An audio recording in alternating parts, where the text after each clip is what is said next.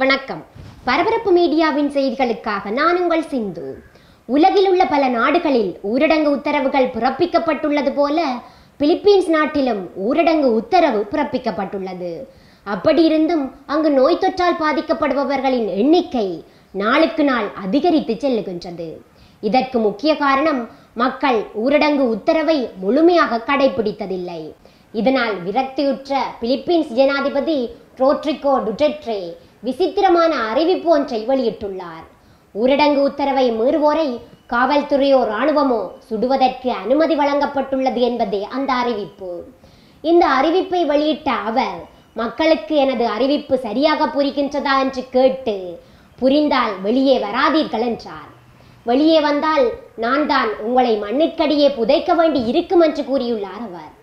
பிலிப்பீன்ஸின் மணிலா நகரில் ஊரடங்கு உத்தரவை மீறிய ஏராளமானவர்கள் கைது செய்யப்பட்டுள்ளார்கள். ஆனால் அங்குள்ள சிக்கல் என்னவென்றால் சிறைகளில் நோய் தொற்றல் ஏற்படலாம் என சிறையில் அடைக்கப்பட்டவர்களை ஒரு பக்கமாக விடுவித்துக் கொண்டிருக்கின்றார்கள்.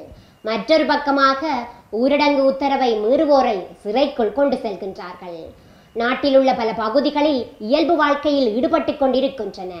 அவர்களுக்கு இந்த நோய் தொற்று எவ்வளவு பாதிப்புகளை ஏற்படுத்தும் என்பது இன்னமும் புரியவில்லை. தமது காரமான உணவு பழக்கங்களும் சூடான காலநிலையும் தம்மை காப்பாற்றும் என்று நினைத்துக் கொண்டிருக்கின்றார்கள். அவர்களை விட அதிக கார உணவு உண்பவர்களுக்கே வைரஸ் பாதிப்பு அமோகமாக உள்ளது. நாட்டில் ஊரடங்கு உத்தரவு அமலில் இருக்கின்றது. ஆயிரக்கணக்கில் வீதிகளில் நடமாடும் மக்களை நூற்றுக்கணக்கான காவல்துறையினரால் கட்டுப்படுத்த முடியவில்லை. இப்படியான மிகவும் இக்கட்டான சூழ்நிலையில் தான் உள்ளது. அந்த நாட்டின் சட்டமும் ஒழுங்கும்.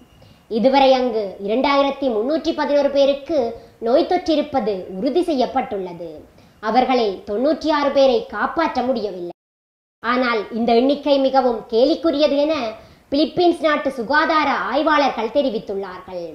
காரணம் அங்கு நோய் பாதிப்பு இருக்கின்றதா என்பதை பரிசோதிக்க போதிய கருவிகள் கிடையாது.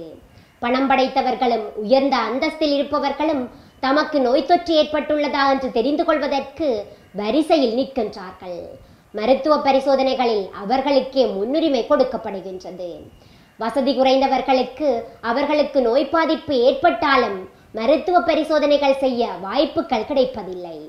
இதனால் எந்த ஒரு நேரத்திலும் நிலைமை மிக மோசமாகி சென்றுவிட வாய்ப்புள்ளதாக கூறப்படுகின்றது. இதனால் தான் நாட்டின் ஜனாதிபதி வெளியே வந்தால் சுடுவேன் என அறிவிக்கும் நிலை அங்கு ஏற்பட்டுள்ளது. இதுவரை யாரையும் சுட்டதாக தெரியவில்லை. ஆனால் நிலைமை மோசமானால் அதாவது அரசு சொல்வதை மக்கள் கேட்காவிட்டால் அதுவும் நடக்கலாம்.